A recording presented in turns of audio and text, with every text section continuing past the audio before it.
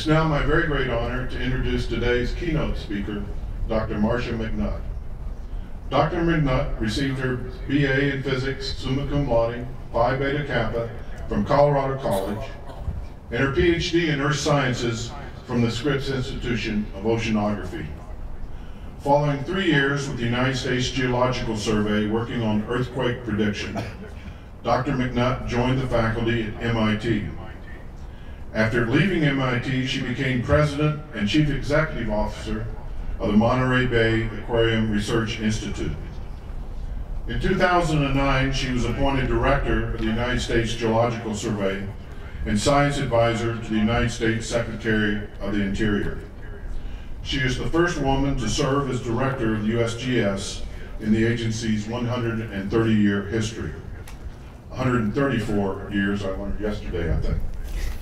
Dr. McNutt has participated in 15 major scientific voyages, serving as chief scientist on more than half of them.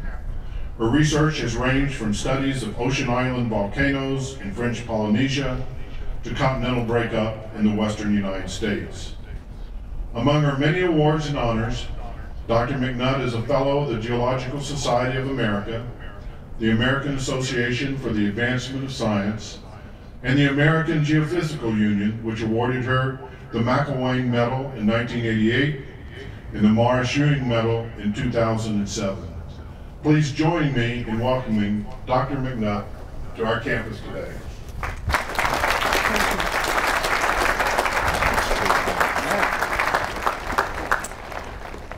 Well, thank you, President Scoggins. I am just delighted to be able to speak to you today.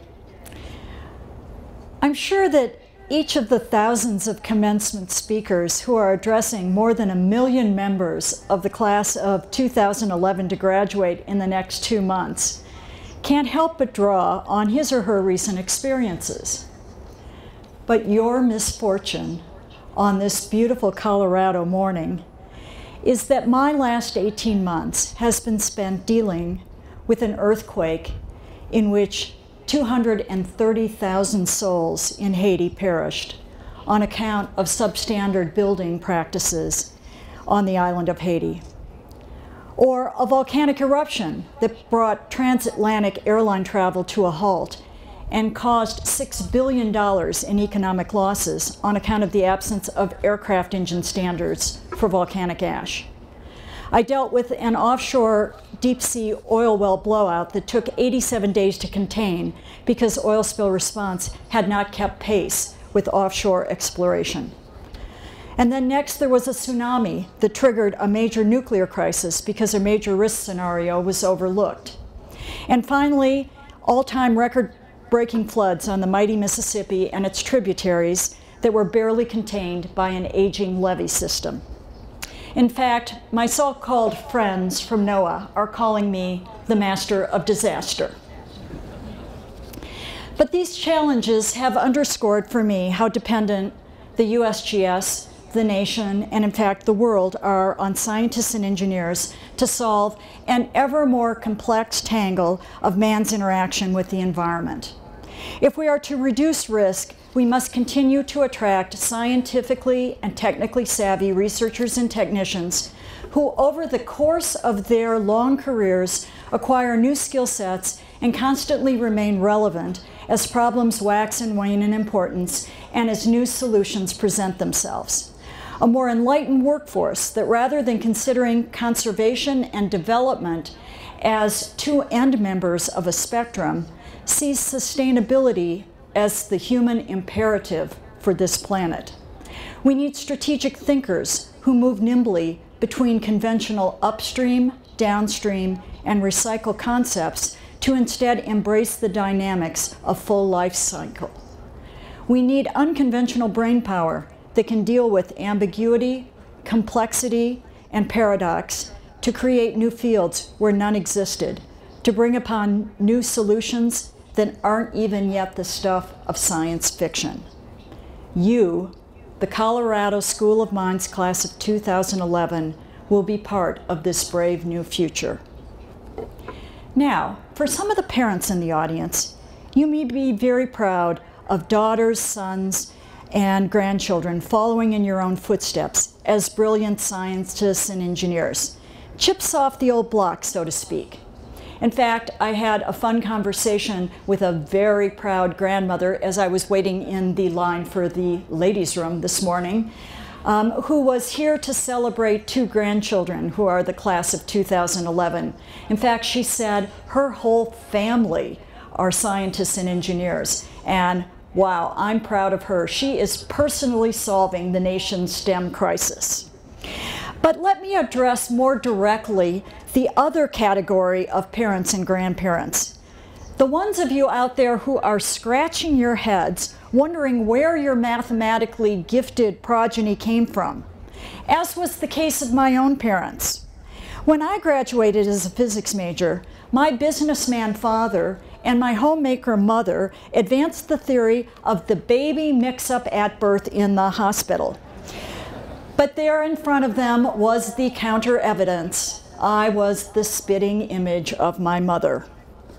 My father even made me take an accounting course at the University of Minnesota over the summer that I would have something useful to fall back on when I ended up broke and unemployed after graduation, which never happened. I didn't move home. I didn't need to use dad's credit card. So, for all of you concerned parents out there, I am living proof that scientists do make a living doing what they are trained to do and do what they love. I had the good fortune that my own career path allowed me to be one of the most part of the one of most finest institutions of science and technology education in this nation. A school very much like the Colorado School of Mines, one that eats, breathes, and sleeps STEM and STEM stands for Science, Technology, Engineering, and Math. In fact, back when I was on the faculty at MIT, I remember being a good listener as my colleagues from other colleges would discuss the challenges of teaching geophysics without being able to use calculus. And then I would casually drop the fact that I taught intro geophysics using spherical harmonics without the MIT students even blinking an eye. These conversations with my colleagues would remind me of the fact that there was an entire STEM phobic world out there beyond my everyday life. So, why am I telling you these stories?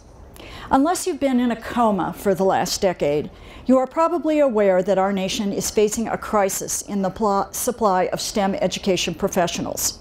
Simply put, in my opinion, the future of the country rests more in our output of you, the rocket scientists, rather than in that of the art historians.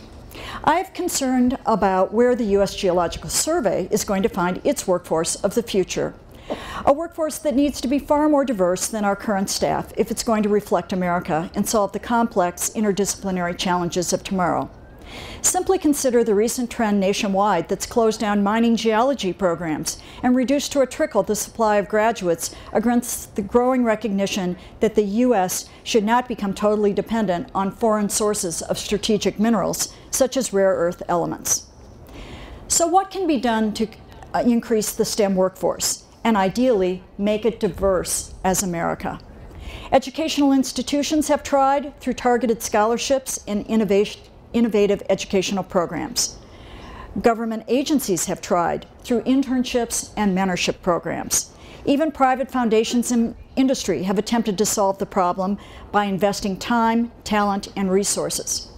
But the problem is still with us.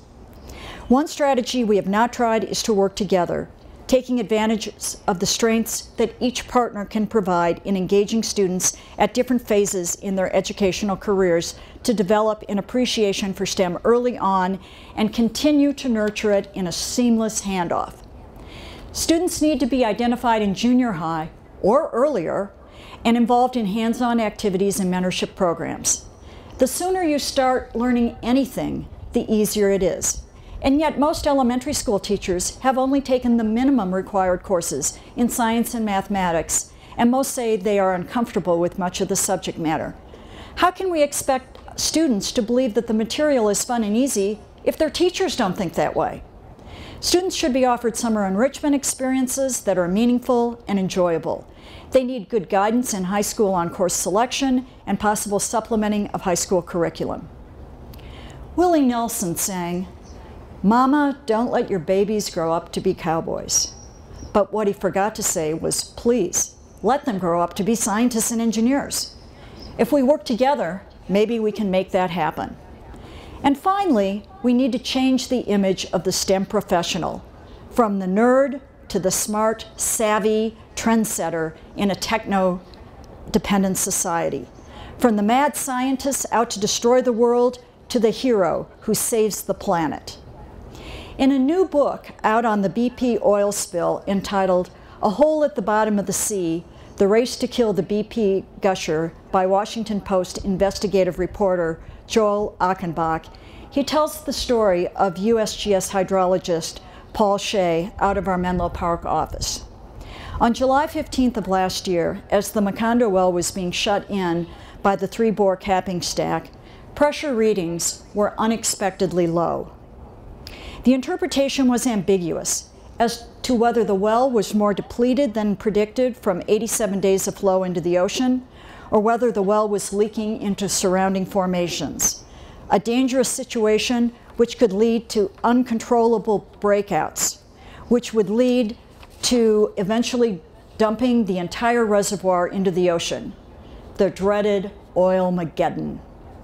Secretary Chu's science advisory team recommended out of an abundance of caution that BP be ordered to reopen the well the next morning.